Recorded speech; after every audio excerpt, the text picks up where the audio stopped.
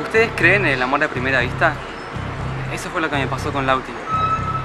Pero él no tiene ojos para mí.